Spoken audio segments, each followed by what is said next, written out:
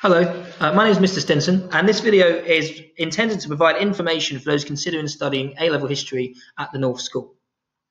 Uh, the course is made up of three components. Um, component one, Tsarist and Communist Russia, and component two, um, the making of modern Britain, and component three, um, coursework on the Tudors.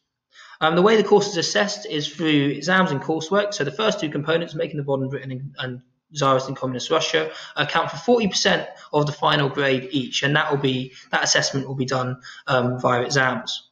Um, and the Tudors makes up the final 20% of the total grade for the A level. Hi, I'm Mr. Ferner, and I'm just going to be walking you through the Russian component. So, for the Russian component, you will explore in depth the story of the Russian Revolution You'll begin by looking at the abuses suffered by the Russian people under the tyrannical Tsarist regime before examining the first attempts at opposition and resistance to the Tsar's overbearing rule. You will study in detail the role of key individuals such as Lenin in the eventual overthrow of the Tsar in the revolution and how they established a completely new government from scratch. You'll also look at the rise of Stalin and how he became one of the most despotic dictators in modern history. Finally, you'll look at the Cuban Missile Crisis and how the world for a few short weeks teetered on the edge of nuclear Armageddon. Uh, so the Making of Modern Britain unit focuses on the development of Britain after the Second World War to becoming the modern day country that we know today, I'm covering the, the period of 1951 going right up to 2007. Um, there's a keen focus on politics um, to look at national and global issues um, that governments had to deal with through this entire period. Um, this is even more relevant today, um, given the sort of challenges that our national and world leaders have to face.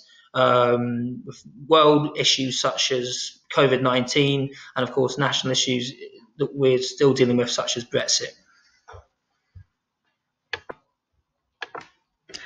Hi there, I'm Miss Holness, and I'm going to have a chat with you about why it is that we should be looking at doing a history at A level. So, the main thing is the fact that it gives you brilliant transferable skills. You've got a list of them on there. So, that, for example, it gives you excellent communicative skills. It makes you a good writer and a good listener, and also really good at presenting yourself. When you do a A level history, you also have to have good research skills. When you do coursework, you need to research what you're doing. It also gives you independence.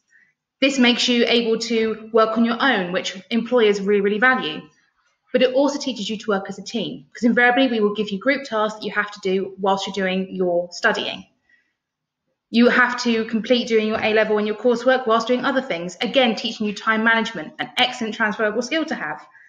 And history also gives us an understanding of problem solving and how it is we can look at an issue and then consider how best it could have been handled. All these skills are things that people who are looking for employers really, really value. And A level history is one of the most valued topics to have. Careers wise, there's so many different options you can go into if you have an A level in history. You can obviously go and do your degree and then become a historian, but you can also do other things. You can work in the heritage sector. Uh, that's one thing I did when I first left university, worked in the heritage sector. You can be inspired by us and you can become a teacher.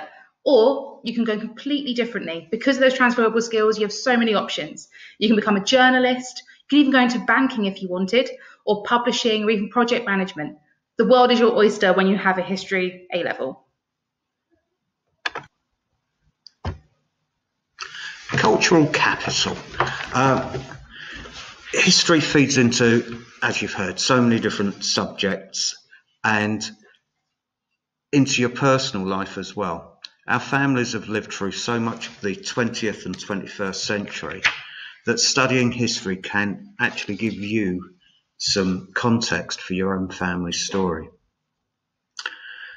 From a social aspect, history helps you to understand how your society has been shaped by past events.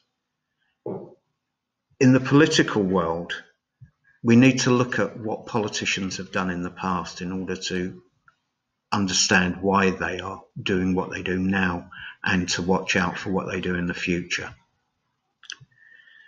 At a cultural level, those of you studying the arts will enjoy the uh, the relationship between art, music, and literature from the past, they're all set in their own history, and perhaps you can consider what the music you listen to today will tell people of the future.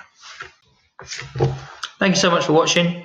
Um, if you have any questions, please do email me um, at j.stinson at thenorthschool.org.uk. And I look forward to seeing you next year.